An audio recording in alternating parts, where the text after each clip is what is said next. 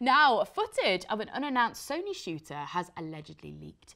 The brief footage shows a character walking towards a balcony while a large creature climbs the side of a building. You know what? What more can you want from that? I'm intrigued. I'd want to know more, me. It's called Project Ooze, which goes nicely with the fact it's definitely aliens and they ooze stuff, so it works.